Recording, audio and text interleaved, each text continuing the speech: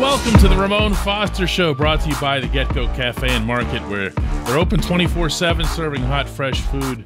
Happy Wednesday, 'Mon. Happy hump day. Yeah, good day. Yeah, you like that, don't you, DK? Yeah, it, it, every single time. There's yes. a lot going on in football, uh, and we're going to talk about the Tyreek Hill uh, trade. Trade. Uh, in the second segment.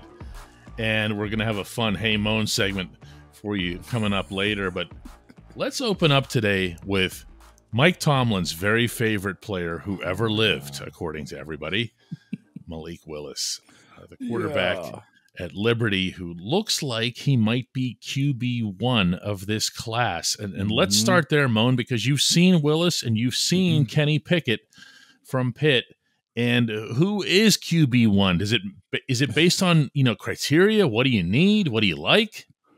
is based off what you need most of the times, uh, unless it's best available when it comes, uh, you know, down to you picking your guy. Specifically, talking about these quarterbacks is very interesting to me. Uh, when you ask me who's QB one, both of them got their like deficiencies. I'm talking about major deficiencies, deficiencies as I get my words together. Um, but you, you hump day exactly. Um, but you, you have a guy like Kenny Pickett, man, that just kind of burst up on the scene. And his was he a fifth year senior, six year senior yeah. at Pitt? Yeah, fifth, yeah, fifth year senior, and and just kind of took the world by storm. And then of course we hit this draft process, and he's just getting knocked down, knocked down by everybody. Like what took so long? Was it the system he was in? And I'm guessing he's very familiar with Matt Canada when it comes down to that offense, that's a part of why it makes sense for him to go to Pittsburgh if they were going to pick him. I honestly think he may be gone a little bit before. On the other side, we have uh, Malik. And I'm just thinking to myself, well, this kid has been shown all over TV through and through that he's a Pittsburgh Steeler for the most part. His last throw at the end of his pro day, he's running down, and you like, I think everybody enjoys seeing the players have fun because at the end of the day, like you become a grown man playing a kid sport, but there's still a lot of kid in you. He's celebrating with his teammates and people on the sideline. But in the background of those I clips, saw him. It's about two or three people back there that you're very familiar with, right? Brandon Hunt, who we talked about yesterday. Uh, was Kev in the background also? He, not but, in that shot, but he was not, there. Yeah. But he was there. One in particular, though, Mike mm-hmm. Tomlin, with the grin to, on his face. Yeah, the it's hard to describe that grin. He has he looks like he's like about 5 years old when yeah. he has it and his eyebrows go up and his his mouth stretches from ear to ear. Yeah. And it almost looks devilish. Uh, but yes. He's watching Malik Willis celebrate. And for anybody who didn't see the video, this pass that he made. It's just, it's all simulated football and whatever else. It's here, very much like who's are. the young young quarterback in New York, Zach Wilson. It's very much like that one where he just drops a bomb and just, huh, it looks good. It looks good, especially since he was running to his left mm-hmm. and then and then pulling up and throwing against his body like five miles to hit this blazing receiver mm-hmm. in full stride in the end zone. All lands mm-hmm. in the end zone. And maybe it was just a release. You know, that's certainly what it felt like because, like you said, it was the end. Uh, but to see the head coach of the yeah. Pittsburgh Steelers on the sideline really enjoying this, uh, 'Mon, that's well, you tell me, is that yeah. his kind of player? Why does he appreciate that? Why does he enjoy that? Uh, it's it's a few things. Again, we talked about yesterday the scouting part, hanging a grade on somebody. Remember that? Mm-hmm. And and and I'm referencing back to this point. Um, looking at Malik Willis, man, he's a guy that kind of fits the mold of what Pittsburgh would like. Somebody that's probably overlooked a little bit. A lot of questions behind him. Come from a small school, and what have Pittsburgh done time and time again? Kind of oh, really yeah. was on the forefront of getting guys from small schools. Where in the hell did Javon Hargraves come from? See what I'm saying? Like with James Harrison, another guy, Steve McLendon, Troy, Isaac Redman. Come on, Fitzgerald Toussaint. The list goes on and on and on about guys that come from small schools that say, you know what, you might not fit their mold, but you fit ours. And I think it comes down to the mentality of those type of players. Smaller school, us against the world, or me against the world when you're in your uh, training uh, regiment. Um, but again, you know what I'll say about that too? It could all be BS and fluff. Because I've seen Coach T court guys like this before, get real buddy buddy with them, just to honestly paint Justin a picture Fields. of something else. Justin, Justin Fields. Fields. Just last was, year at the Ohio State Pro Day. Yep. It, it, it, was the same similar situation. So I, I take it honestly as a grain of salt. If, as as a grain of salt, simply because you have two guys, three guys. You got two first rounders on your roster already. Dwayne Haskins and and friggin' uh was yeah, Mitch, Mitch Trubisky. Trubisky. yeah. And, well, and, and, they hung a first on Mason Rudolph and exactly. let them off on that one. So technically, according to the Steelers scouting department, you got three first rounders on there, and you want to incorporate a fourth. And this is the other part of this too. Most teams only keep three quarterbacks. So I think if for anything, all four of these guys, Mason Rudolph, Mitch Trubisky, Dwayne Haskins, and Malik Willis, if they do decide to keep them, will be on somebody's roster, except there's going to be one missing. Yeah, I, I, could also see if in that event I could see a, a trade of Mason for a whole bunch of reasons because he'd have uh, every cause to be disillusioned about whether or not he'd ever get a chance uh, in Pittsburgh uh, at a prime age. But but also let's let's think about when, we're speaking about the optics of what we're seeing and all of the reports that uh, Malik Willis is basically hand mailed to Pittsburgh early in the offseason, Kevin Colbert in the front office told us Mason Rudolph is our guy. Yeah. Well, they said he would be our star. To be fair, 'Mon, they they fair. They said that he would he was he, if the season started today, he's our starting quarterback. Now, at the time they said that, yeah, he was literally the only quarterback under contract. So you can you can do that a bunch of different ways, splicing it back and forth. But I, I want to ask you, Okay. If you're picking between Willis and Pickett, okay, forget whether or not the Steelers want to do it, forget whether or not they fall to 20 or whatever else here. But if you are a GM taking between those two, who do you mm-hmm. take? If you're Pittsburgh. Think, if I'm Pittsburgh, I think I take Malik. I Why think he that? fits the mold because I'm I'm also a firm believer at that prime position right there. You might want to get away from where you're used to it. And Kenny Pickett's been Pittsburgh all the way through, man. I think a, a different environment might be better for him as a pro, also. You know what I'm saying? Especially being the franchise. And I got to look back at how much was he loved at Pitt before he actually became the guy and into the Heisman conversation. Like he's going to have to pander to that same crowd of convincing them that he's good enough.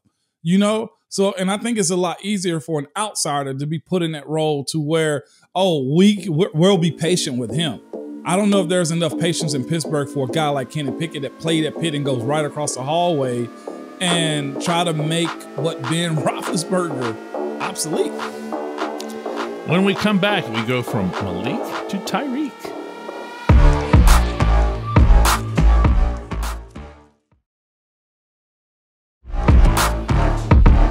Welcome back to the Ramon Foster Show, brought to you by the Get Go Cafe and Market. And the Chiefs and the Dolphins made a pretty significant trade today, uh, sending uh, the Chiefs sending uh, Tyreek Hill to the Dolphins for a truckload of draft picks, a first, a second, a fourth, another fourth, and a sixth. And then, and this is what you'd better do after you give up that much the Dolphins extended Hill with a four year, $120 million deal that's got 72 guaranteed. 'Mon, this is a wide receiver. Yeah. I'll be lying if I told you I expected him to not only okay, the money deal cool. He's he is who he is. I didn't expect a wide receiver to get a first round trade value. Not mm. only that, what is that? Five draft picks or six? Five, five, five draft picks. A one, the, and these are significant like positions that you're giving oh, yeah. up. Oh yeah. Um, uh, again, and this is this is one of the the wildest parts of what I think the new NFL is, or what teams are starting to realize. It's this: if you want to win or compete for a Super Bowl, you better have a Tom Brady s quarterback that doesn't mind taking less money or has a wife that makes probably two or three times more than he does, or you better go all in when it comes down to you having a young rookie quarterback who you think is really good. Because this deal right here and why Tyreek isn't with the Kansas City Chiefs is because the Kansas City Chiefs paid Their starting quarterback, a boatload of money. I think 10 years, $450 million. And if you listen to them, they and Patrick uh, Mahomes' money, to be clear, kicks in. The big money kicks in. this in year. This year. Yes. He has a roster bonus probably due, or he probably just got it March 16th of $27.4 million. His cap hit this year is $35.7 million. They operated last year, well, 2020, the championship year, uh, at 5.3 million and 2021 at 7.4 million dollars. They got the ring before he got paid. And what happens on teams like this is you start to lose guys because when their talent exceeds what you thought it was going to do, i.e., Tyreek Hill, then you Bye lose bye. him. Why is Davante out of uh, Green Bay? Probably other than the fact that he didn't want to play with Aaron Rodgers a little bit. It's simply because Aaron taking about $50 million a year. There wasn't enough money to justify paying him. So now Tyreek not only gets traded, but he also gets a new deal because Miami can afford him because the highest paid position on most rosters is the quarterback. Tell me I'm wrong, DK. Oh, you can't. And and, and as far as uh, you know, Pittsburgh's own recent history, you look at. I don't want to make Ben Roethlisberger sound excessively magnanimous for accepting salaries, you know, of twenty Right. and twenty-five. Okay. However, however, I think we we can agree that when you look at his history of restructurings and then the deal that he took last year, he has taken less in order to try to give the Steelers cap room so that he could surround himself Mhm. with good players. Am I wrong? No, you're 100% correct. He did attempt to do that or did do that. But not only that, that's that's one of the reasons why I think I think the fan base of course were getting a little agitated by him continuously asking for, "Man, I need weapons. I need weapons." That's because if you go get five draft picks that are receivers, you hope two or maybe 3 of them hit. And therefore you got cheap talent around you. You know? So, so the NFL, to an extent, is a is a is a league where, in order to to win the Super Bowl or to you know get at or near the Super Bowl, it's best off to have a quarterback who doesn't cost you in that range. Now, there's another team in the division I think you can kind of safely put into that bracket, and that's Cincinnati. yep. They got there, but they got there when Burrow's still really young and still Yes. really new. It's a rookie deal. And as a result, they were able to go and add a whole bunch of pieces. How does this, I mean, w- when you look at the Steelers, is this something that they might consider You doing with to. where they are now? You have to. Other than the fact that Pittsburgh still, I think, will have a really good defense. Offensively, these are the moves that are being made more than anything. Look at Justin Herbert and what they got going on in LA. Yeah. you yeah, know, yeah. like there's, or you have a, a team like, let's say, the Rams that go get more talented, cheaper veterans. It's pretty much what they did. You know, so I, I think if, if Pittsburgh is smart, we'll we'll see this. Like this first phase of watching them spend money in free agency, especially if the cap is going to go up again next year, also gives you a crease to say if we do get a rookie this year, and it's Malik Willis or Kenny Pickett, whichever one you you decide to choose, you got to surround them with as much offensive talent as you can. Because look, Diontae's coming up real soon. Chase is right after him. Najee probably is gonna. We don't know what his his situation is going to be simply because he's a running back. But you got to look at that and say, all right, Pittsburgh, you're next up because whenever Joe them push it in Cincinnati, like Pittsburgh's not going to be one, uh, far behind that. And Lamar in his situation is probably about to get sticky too because he's due. And yet, at the same time, 'Mon, you're going to see from now until the end of time that the NFL is going to be a league where you're always going to have 15, 20 quarterbacks Mhm. who are getting paid that big money. You know what I'm saying? Yeah. No matter how much cap it is. I mean, again, look at what Green Bay just Oh, did. Look at the decision they just made. And everyone's saying, yeah, it's great. It's awesome. You know, Aaron Rodgers will just make more receivers. He'll just pluck them out of the ground, you know, I- I- or no, tundra. and- and- tundra. honestly looking at the other part of it too. You talk about Aaron Rodgers, but look at friggin' Deshaun Watson. If you can Mhm. go to Spotrac and look at what his base salaries are from here on out, from 2023, I think they're 46 and a half million dollars, all guaranteed. So I ask that question. Cleveland might have gotten their quarterback and made them relevant, but what else can you actually do offensively to put weapons around him when you got a base salary that high? Watson's contract is five years and $230 million. Enjoy that with very, very little offensive supporting cast other than the great running backs that they've got. When we come back, it's our Hey 'Mon segment.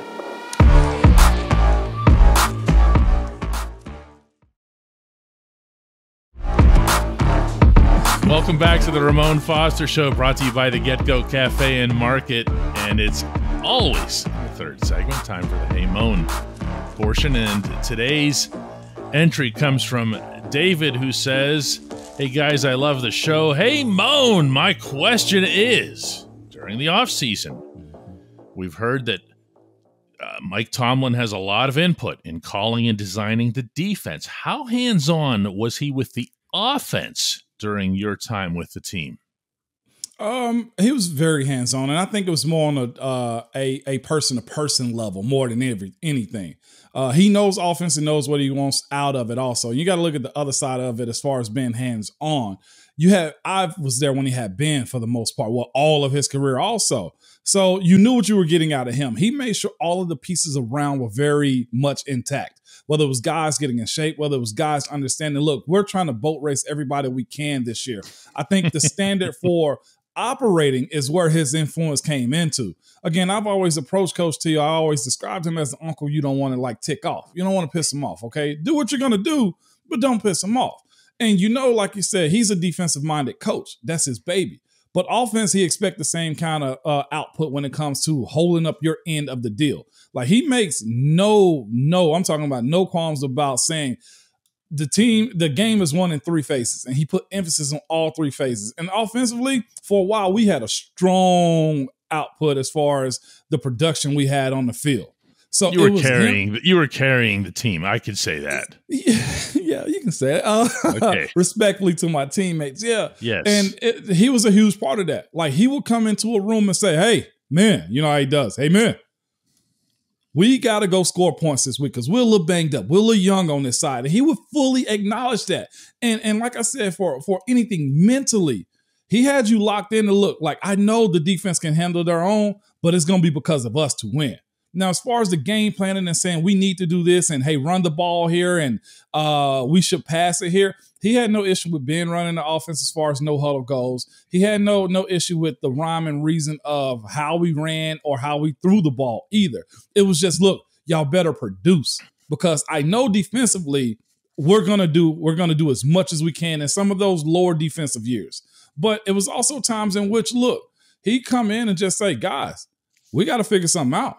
I don't know who is going to do it, but please step up to the plate. And he challenged guys. And primarily, he came into our room, the offensive line room, to kind of really push the group forward and those types of things. And that's because why? We're the biggest guys in the building, the biggest group, and we also had the loudest mouths in the building too. so, so, see, you can say that and I can't. yeah, but that, that's how he operated. Though he finds a group man that's a leader type group, and he pushes those guys to push everybody else. So game planning, but not strategically. That that's not, you're saying that nowhere near is involved no. strategically. He's not going to sit there and say hey what's up with this route tree? No absolutely not. And i think it's to the point to where he he also trusted the guys in place from uh ba to todd to to uh randy. And i'm sure his relationship with matt canada is hey hey man do your job. By every account it's a good one. It's, it's a good account and it's not like i said a, a pressure cooker type of situation but Pittsburgh's always known for defense. He will come in and say, run that damn ball here and there when mm-hmm. we have to. Or it's it sounds coach speak, but he has a different way of delivering those types of things. So it's not as much as defense suggests, but it's um, the same demand for sure. That's a good hey moan. That was like good. like the whole thing, and beginning, of course, with the question, which is why you know, which is why you get the the, the people that are that are partaking in this show yes. to participate, right? I, I, I, and by the way, I love the questions. There's so many that are in the comments that I see, and I'm like, DK, we got to pin this one. Keep this one, okay? uh, one in particular, we'll get to it. I promise you. Was I heard that James Harrison. No, I heard that Coach Tomlin didn't look James Harrison in his eyes. I was like, "Oh no! Wait, wait! Don't give it away! Don't give it I'm away! not, we I'm can't not. do two Hey 'Mons for the price of one." uh, I've already seen tomorrow's, and I can promise you, it's even better than that. Oh, even man. better than that. Yes. Uh, listen, we appreciate everybody who do. watches or, or, or listens to the Ramon Foster show. If you like what you're seeing and you like Ramon, and who doesn't like Ramon, you know? Other like maybe like Geno Atkins or somebody. No, probably man, Geno G- cool. Geno, Geno likes you. Yeah, that's my guy. I'm cool with Geno. All right. See, even Geno Atkins lined up against the man and he liked him. So if you do too, go leave a, a review, one of those things, you know, where you like a star or something like that, and pass the word on here. Uh, we enjoy doing this. The more people, the more people that watch, the better. Anyway, do another one tomorrow. I'll be right here ready for you.